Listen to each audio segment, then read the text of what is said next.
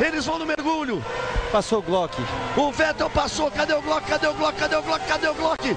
E o Glock não aguentou e não resistiu. I used to rule the world. Eu vi criança de colo, correndo.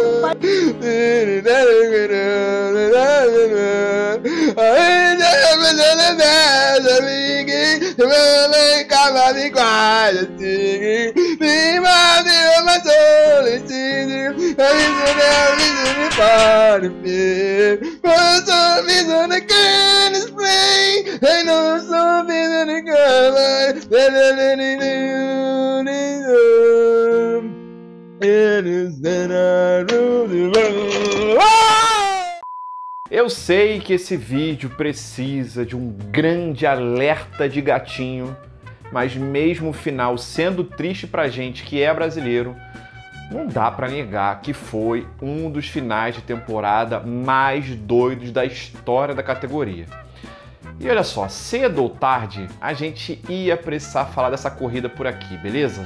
Então nada melhor do que já tirar logo esse peso das costas e acabar com isso de uma vez. Agora, o que não acaba é o fato de que eu vou estar aqui para salvar a sua segunda-feira, mas que hoje é terça, né? Graças ao nosso Resumo ludibriado retro. E esse vídeo é um oferecimento da Kaspersky, que não só é o melhor antivírus do mercado, como ainda traz para você uma promoção exclusiva. Clicando no link aqui embaixo da descrição e depois usando o cupom LUDGERO lá no carrinho, você consegue assinar um ano de Kaspersky Plus por 38 reais. Dá tipo menos de R$ reais por mês. E de quebra você ainda recebe um voucher de 10 reais na Bonox para comprar o seu gift card por lá. Então assim, ó, não dá bobeira, tá? Clica agora no link aqui embaixo e aproveita logo mais essa promoção incrível da Kaspersky, porque ela pode acabar a qualquer momento. O ano era 2008, corrida no Brasil, a última daquele ano, saudades disso inclusive. Foi o último ano antes dos árabes com dinheiro infinito botarem aquela pista horrorosa no calendário e ainda pagarem extra para que ela fosse a última no lugar da nossa também o último ano também daquele regulamento, né? Antes deles mudarem muita coisa para o ano seguinte por conta da crise econômica. A Brown GP agradece essa parte, né? Que inclusive também foi o último ano da equipe Honda na Fórmula 1 e último ano também de David Coulter, o nosso Davi Caixa d'Água, que estava na Red Bull e fazia a sua última corrida na Fórmula 1. Era muitos últimos, né? Destaque para o grid que já contava com a presença de um tal de Sebastião Vettel, um jovem que tinha ganhado a sua primeira corrida na Fórmula 1 nesse mesmo ano, pilotando uma Toro Rosso. Tem potencial esse rapaz aí, eu acho, hein? Ficar de olho nele. Tínhamos também simplesmente a presença de Robert Kubica, o famoso Roberto Kupisca, que chegava nessa corrida em terceiro no campeonato, a bordo da belíssima BMW Sauber. E se hoje tá difícil ter algum piloto brasileiro no grid, nessa época nós tínhamos três. Felipe Passa, Nelsinho Piraquê e o nosso Rubito. Brigavam pelo título Luiz Hamilton e o nosso Felipe Passa com o piloto inglês na frente por 7 pontos. Com a pontuação diferente daquela época, o brasileiro precisaria ganhar a corrida e torcer para que o Hamilton ficasse fora do top 5 o Felipe Passa fez a parte dele no sábado e foi o mais rápido, saindo da pole para o domingo. O Hamilton largaria da quarta posição e tudo que ele precisava era ficar por ali mesmo para garantir o título. Antes da largada, no melhor estilo São Paulo de ser, cai uma chuva do nada, que adia a largada e força todo mundo a trocar para os pneus de chuva. Com tudo pronto, bora para a largada. As luzes se apagam e Felipe Passa consegue manter a liderança, seguido por Jarno Trulli, o grande Jarno Túlio, que estava na Toyota. Luiz Hamilton mantém a quarta posição e lá atrás já começa a rolar uma baguncinha no S do centro. Davi Caixa d'Água simplesmente é tocado pela Williams de Rosberg, sim, aquele que faz o escocês rodar e acertar a outra Williams, dessa vez do grande Nakajima. Com danos no carro, o piloto da Red Bull precisa abandonar e acaba encerrando a sua carreira sem sequer completar uma volta na última corrida. Que despedida bacana, hein? Depois de três voltas com o safety car para a galera limpar a bagunça, a corrida é reiniciada e Felipe Passa vai para frente sem nem dar chance para concorrência e o resto das posições também se mantém praticamente iguais. Com 11 voltas, o piloto brasileiro vai para os boxes para trocar os pneus de chuva pelos pneus de pista seca, depois que alguns outros pilotos do fundão já tinham sido as cobaias, né, e estavam conseguindo boas voltas. Só que aí a McLata do Hamilton decide manter ele na pista e só faz a troca na volta seguinte, o que já foi suficiente para que ele perdesse algumas posições, apesar da parada da equipe ter sido rápida. Com isso, enquanto Felipe Passa seguia na liderança, agora o inglês estava fora do top 5 e tinha que passar alguns carros para chegar lá novamente. Senão ele ia perder o título, né? E já na volta seguinte, as coisas já iam começar a dar certo para Hamilton porque o nosso Yarno Túlio não conseguiu segurar o carro com os novos pneus na pista ainda úmida, o que ajudou o piloto da McLata a já conseguir uma ultrapassagem muito fácil. O italiano da Toyota, inclusive, quase foi de Nicolas Patife, mas apesar do escorregão, conseguiu segurar o carro e se manter na corrida. Hamilton agora tentava passar Jean Carlos Fisichella, que estava nessa época na equipe Força das Índias. Ele tentou por algumas voltas, porém sem sucesso. Lembrando que nessa época não tinha DRS ainda e o CARES, aquele sistema de energia vinda das frenagens, só ia estrear no ano seguinte. Após algumas voltas frustradas, o Hamilton finalmente consegue fazer a subida mais perto e realizar a ultrapassagem no S, assumindo a quinta posição, exatamente o mínimo que ele precisava para ser o campeão. Como o reabastecimento ainda existia naquela época, era comum que muitas ultrapassagens acontecessem nos boxes e não na pista. Além disso, as equipes podiam colocar combustível durante a corrida da forma que eles achassem melhor para a estratégia deles, o que também fazia com que algumas vezes é, eles tentassem parar menos ou mais vezes.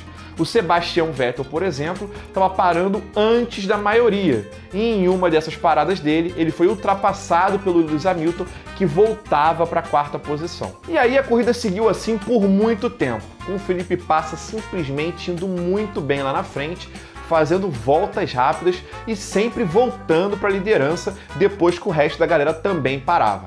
Como o Lewis Hamilton seguia dentro do top 5, o brasileiro ia precisar de sorte para que algo tirasse o inglês do título. Até que com mais ou menos umas 15 voltas para o final, começaram a aparecer os rádios das equipes avisando os pilotos de que a chuva estava a caminho.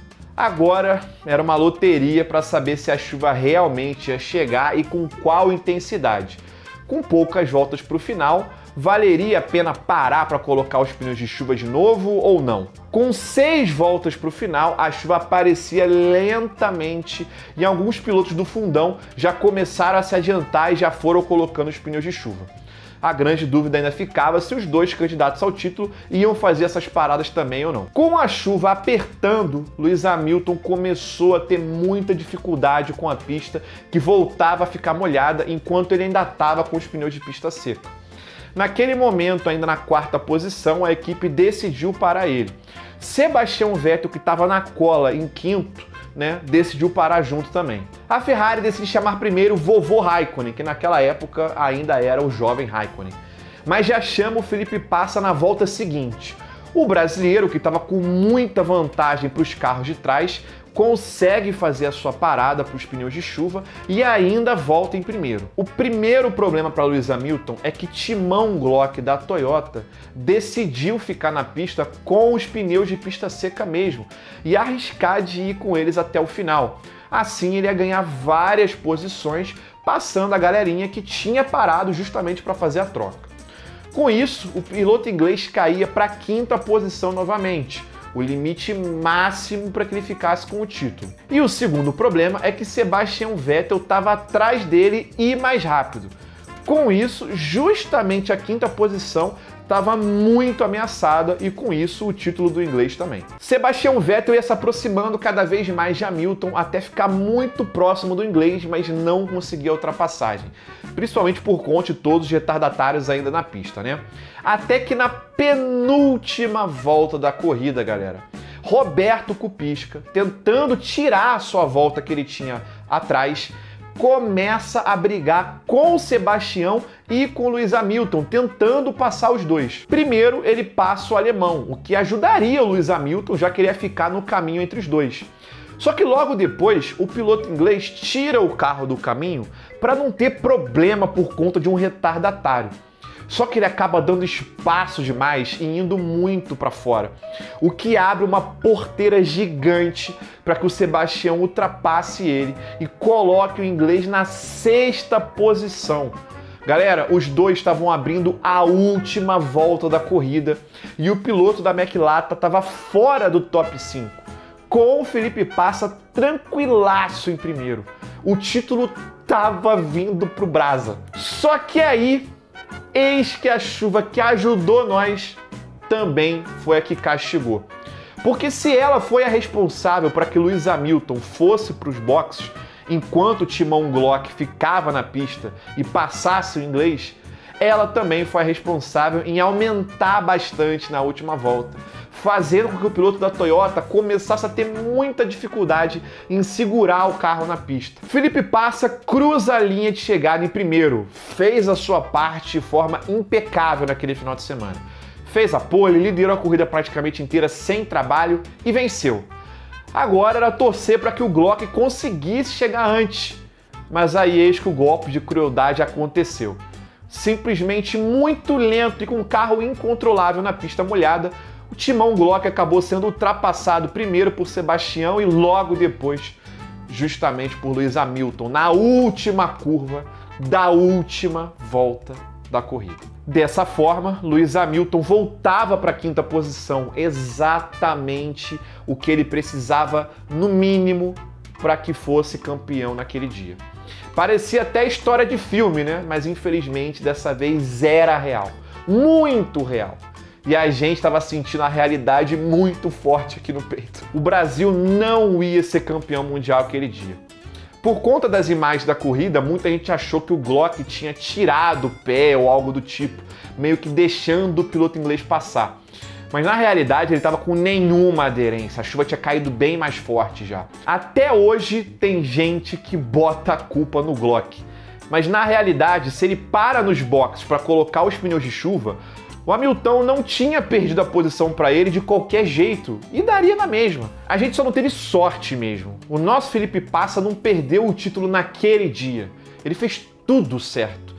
O título talvez tenha sido perdido na Hungria, quando o motor estourou, ou na Inglaterra, naquele dilúvio, ou quem sabe em Singapura mesmo, né, com toda aquela polêmica da batida, além do problema que a Ferrari teve com a mangueira nos boxes também, né? O que é certeza é que o título não veio pra gente naquele dia. E eu, chorando e com vontade de tacar minha TV pela janela, prometi para mim mesmo que nunca mais assistiria Fórmula 1 novamente e deu para perceber que eu cumpri a promessa certinho, né? Mas é isso, galera. Agora o que a gente pode fazer só é torcer para que a gente tenha pelo menos algum piloto brasileiro no grid novamente.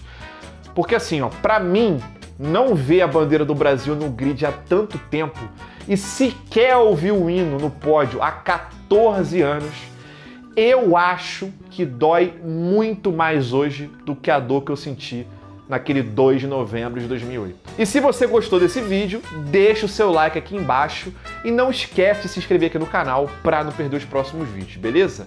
A gente se vê na segunda-feira para o resumo do GP da Holanda desse final de semana.